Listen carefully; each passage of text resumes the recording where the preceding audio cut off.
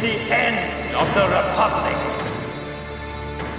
The end of a regime that acquiesces to disorder.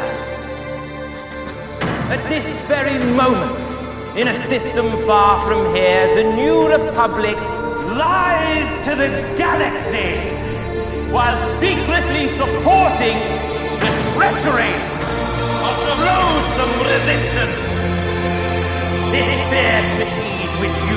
Built, upon which we stand, will bring an end to the Senate,